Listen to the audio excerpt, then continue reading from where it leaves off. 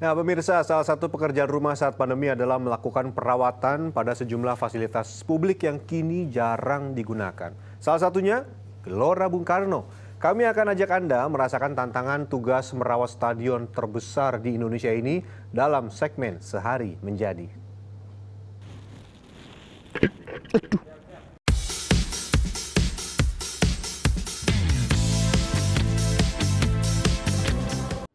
Anda termasuk orang yang gemar berolahraga di Gelora Bung Karno? Rasanya memang beda ya, berolahraga di stadion yang kini sudah berumur 58 tahun ini. Sejak dibangun tahun 1962, semua bangunan di sini masih otentik pemirsa, termasuk Stadion Utama Gelora Bung Karno. Stadion seluas 279 hektar ini memang butuh perawatan ekstra, mulai dari memotong rumput hingga menjaga kebersihan semua sudutnya. Sebelum memulai tugas, kita harus kenal dulu nih alat apa saja yang akan kita gunakan. Ini boom spray untuk pemupukan cair. Triplex mower untuk memotong rumput dari berbagai arah, dan alat khusus untuk memadatkan rumput sebelum siap digunakan. Tapi sebelum dipotong, rumput harus disiram setiap pagi.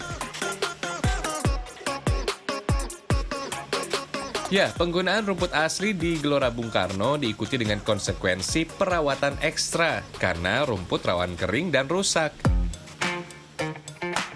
Saya lagi ada di tengah lapangannya dan ini kenceng banget padahal dari pinggir karena tekanan dari si airnya itu 3 sampai 5 bar. Dan di Stadion Utama Gelora Bung Karno terdapat 6 titik untuk penyiraman, tapi nyiramnya satu-satu dari yang sisi sana dulu, ntar tengah ada, baru yang sisi sebelahnya. Setelah semua rumput kenyang disiram, kita lanjut weeding alias mencabuti rumput-rumput liar yang mudah tumbuh di sela rumput utama.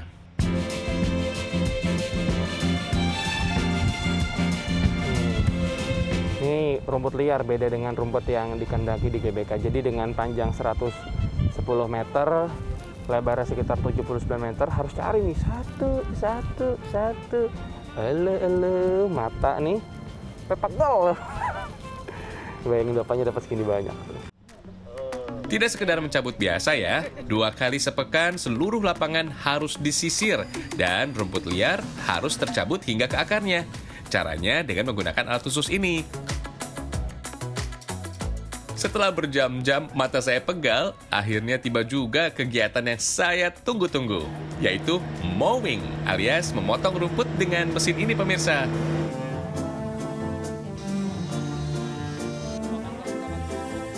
Sejak dua tahun terakhir, lapangan GBK menggunakan rumput jenis Zeon Zoysia yang diklaim lebih baik serta lebih kuat dari serangan hama dibandingkan jenis rumput sebelumnya. Ya mampang, mampang, mampang, mampang. mampang tendean, mampang tendean.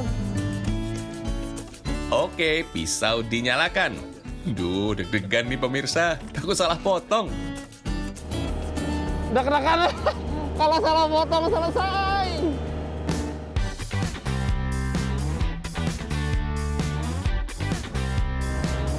Ini ujian yang sesungguhnya nih, motong di samping. Oke?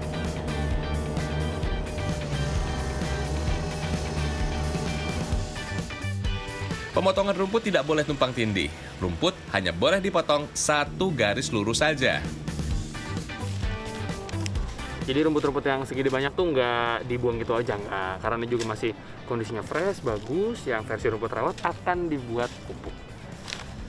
Waduh, seger. Ini uangnya tuh, wih. Rumput-rumput habis kena hujan gitu, bro. Sebenarnya untuk apa sih rumput lapangan harus dipotong dengan aturan khusus? Kalau Anda lihat di layar kaca Anda, pasti tempat saya berdiri ini garisnya, ini warnanya lebih gelap. Dan kiri kanan saya lebih terang warnanya. Itu karena yang arah potongnya ini lurus ke arah kamera atau ke arah Anda. Mas Niko tolong geser. Nah, kalau dari sini pasti beda dong. Ini jadinya lebih terang dan kiri kanannya jauh lebih gelap. Tapi di mata saya berbeda. Yaitu lagi karena potongannya tadi itu ke arah mana? Misalkan lurus nih. Ya udah, berarti kalau lihat dari arah potongan itu dia warnanya akan lebih terang. Sedangkan kalau dari arah sebalik potongan itu akan terlihat lebih gelap. Terus yang kelihatan kotak-kotak gimana? Sebetulnya sama aja. Ada yang motongnya lurus, ada yang motongnya arah nyamping. Jadi kelihatannya itu seperti kotak-kotak. Padahal mah itu mah hanya ilusi mata aja. Ada yang kelihatan lebih hijau, sangat hijau, ada yang terang bahkan sangat terang. Itu semuanya hanya ilusi mata saja. Tujuannya untuk mempercantik dan juga memudahkan terutama di bagian-bagian garis tadi. Masih lanjut motong. Tidak cuma untuk mempercantik lapangan pemirsa, rumput rutin dicukur juga menstimulus pertumbuhannya juga. Kalau kita punya rambut, kalau kita sering pangkas, dia akan selalu tumbuh dengan baik. Kalau misalnya kita jarang rawat, kita jarang pangkas, nanti dia yang ada yang tumbuhnya adalah e, batangnya. Kalau misalnya sudah terlalu tua, kalau batangnya sudah naik, nanti ketika dipangkas, kita pangkas pendek, itu nanti yang kelihatan batangnya daunnya udah nggak ada lagi. Jadi nanti warnanya kuning atau kecoklatan gitu. Oh begitu, siap Bu. Tidak hanya rumputnya saja loh pemirsa, tanahnya juga harus dites khusus di laboratorium agar perawatannya benar-benar tepat.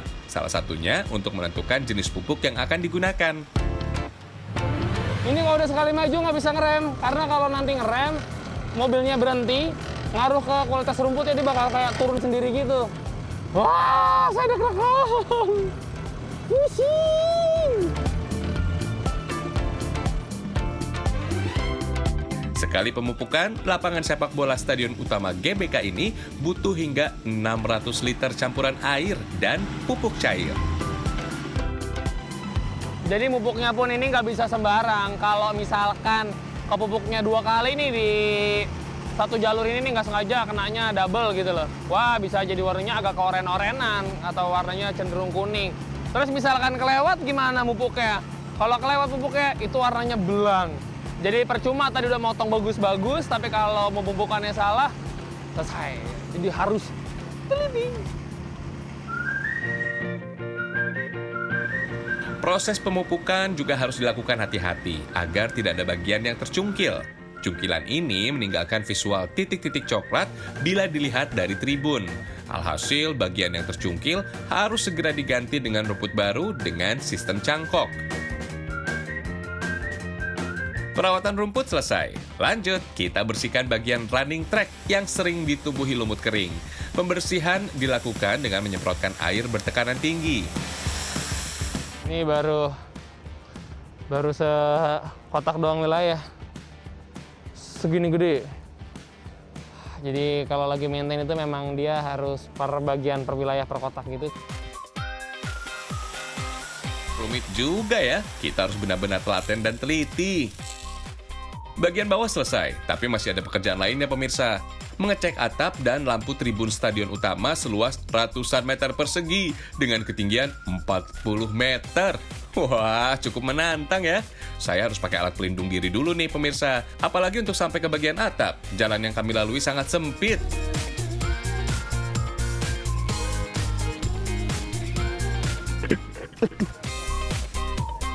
Ini buat ngelewatin tempat-tempat ini untuk sampai ke titiknya aja udah ribet.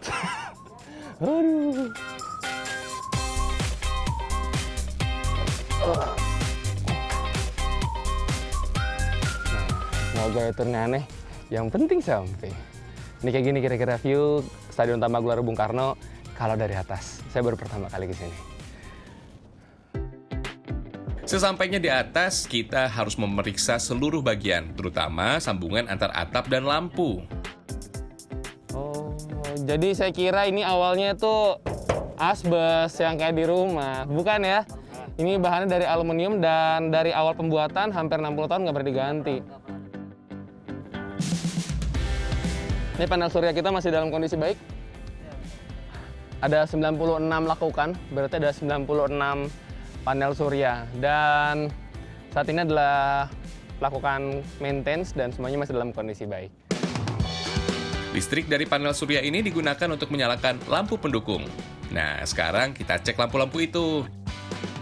Lampunya itu 3000 lux, artinya 3000 lux itu dalam 1 meter square itu kita bayangin ada 1000 lilin. Jadi 1 meter persegi? 1 meter persegi. Jadi kebayang dong cahayanya seperti apa. Dan itu yang tidak uh, menimbulkan ada bayangan di lapangan. Hmm, dan, dan ini banyak ya? Ya, dan ini banyak. Total terdapat 610 unit lampu dengan harga satuan mencapai ratusan juta rupiah.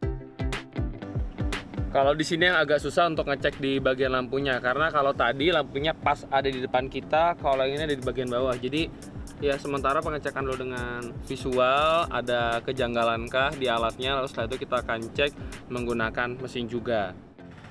Alat yang saya gunakan ini bernama Spider Lift untuk menjangkau sudut-sudut yang lebih sulit.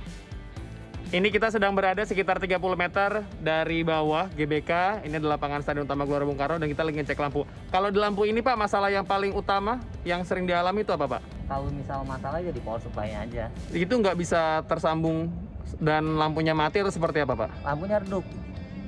Dia kedip lampunya, nggak nggak nggak mati, kedip aja. Ada hal khusus yang harus kita perhatikan saat bekerja di ketinggian pemirsa, yaitu kekuatan hembusan angin.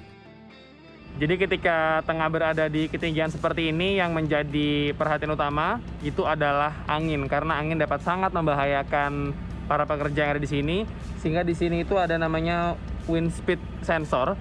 Jadi ketika angin sudah bertiup sangat kencang dan wind speed sudah berputar, itu artinya sebuah tanda bahwa kami harus segera turun dan pengecekan akan dilanjutkan di lain hari atau ketika kondisi angin sudah dalam kondisi kondusif. Untuk memastikan semua lampu berfungsi dengan baik, kita akan menyalakan seluruh lampu. Jadi saya bagi tugas, saya bertugas untuk mengecek kondisi secara visual apakah ada lampu yang redup atau bahkan ada lampu yang mati atau tidak sama sekali. Sekaligus dia mau ngecek audio.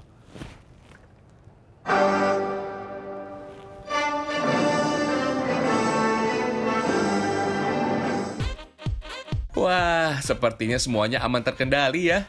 Audio aman, 610 unit lampu utama juga menyala sempurna. Kalau sudah begini, stadion utama siap menjadi tuan rumah beragam event nih. Kita berdoa saja, semoga pandemi segera berlalu, sehingga kemegahan GBK akan kembali mendunia. Dan harapannya ketika tempat ini nantinya akan kembali dijadikan venue untuk ajang perlombaan, untuk event-event tertentu yang menjaganya tidak hanya dari petugas stadion utama saja, tetapi kita semua menjaganya karena ini adalah milik kita bersama, milik bangsa Indonesia. Rian Fernando, Riko Riano, Jakarta. Aktivitas bercocok